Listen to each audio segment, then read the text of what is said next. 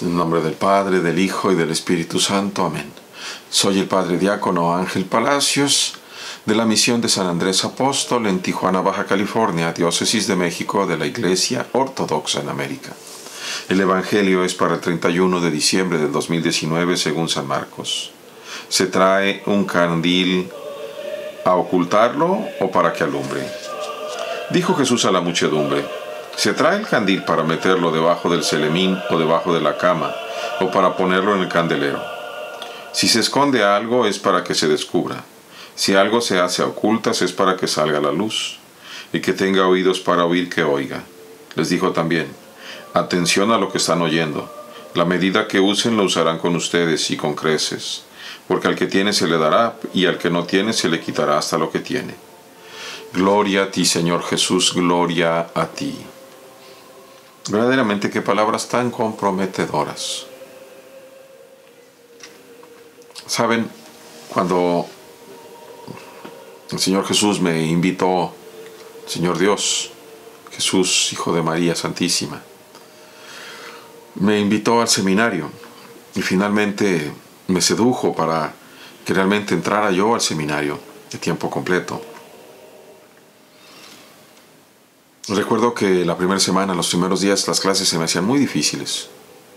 Yo era en ese entonces un hombre ya de 46 años y había dejado, bueno, había dejado, había salido de la universidad hacía tiempo, había retomado, ya llevaba un año y medio de maestría en ese entonces, pero se me hacía muy difícil. Y recuerdo mucho haber ido a la capilla a hacer oración y a pedirle a Dios, Señor, si quieres que esté aquí, abre mi entendimiento. Y encomendarme a la Virgen también.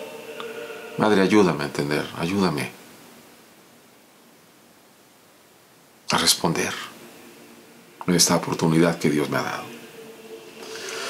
Y a paso del tiempo comenzó a suceder que muchas veces,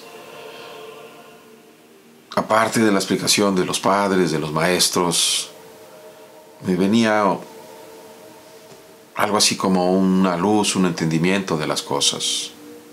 Lo pueden ver, porque ya tengo, yo creo que este año cumplimos nueve años eh, predicando el Evangelio por este medio. No son pocos. Pero precisamente eh, esto se prende un candil nuestro caso, en mi caso, humildemente, de ser oscuridad, porque sigo siendo un pecador miserable, Dios me llama, Dios me enciende con la luz de su espíritu,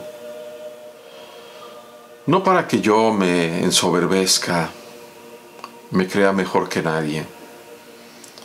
El candil sirve para donde lo pone su dueño.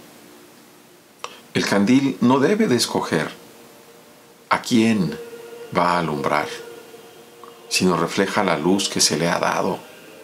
No es la luz propia. El candil es para ustedes. Es luz. Y yo le pido a Dios con toda mi alma, con todo mi corazón, con todas mis fuerzas, que me permita, si Él me llama a este ministerio como lo hace, verdaderamente enseñarles, mostrarles el camino que los conduce a Dios, el verdadero camino, como yo mismo lo busco paso a paso, día a día, constantemente.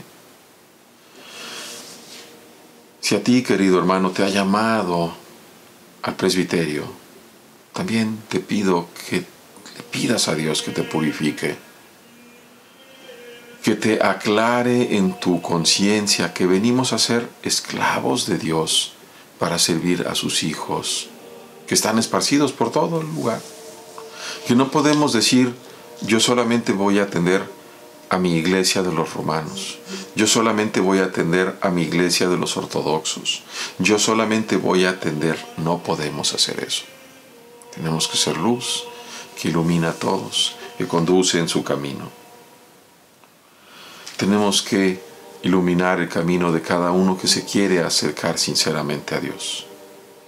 Que aquel que es misericordioso ilumine su rostro sobre cada uno de nosotros.